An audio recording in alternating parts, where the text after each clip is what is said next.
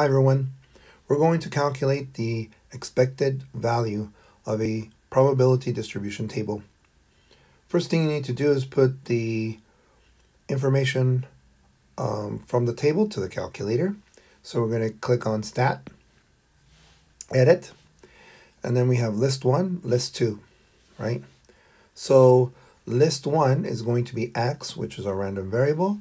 List 2 will be our probabilities. We know that this table is a probability distribution table because the second column, which is the probabilities, those add up to 1. Now, this example only has one variable, one random variable, which is x. Keep that in mind. So the next thing we want to do, remember, we're trying to find we're trying to find the expected value, right? Which is a population average. So we're going to click on stat. We're going to click on calc we're going to click on one variable stat. And now we're going to do second L1 for the random variable, comma, uh, second L2. And then enter. And now you have X bar 2.23. X bar usually represents the sample average.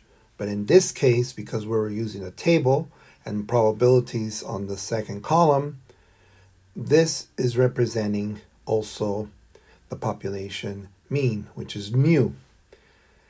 Another thing that might pop up why x bar is what they call the true mean or the expected value. Okay, the answer is 2.23 as the expected value.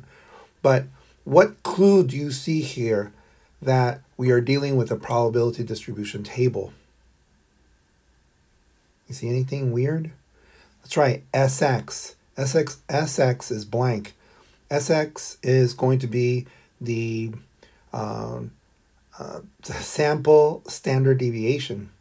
The sample standard deviation is for our sample, and because this is a probability distribution table, um, it can't calculate that because this is not a sample, but a population. Okay, I hope that was helpful, and um, please subscribe and be safe. Bye bye.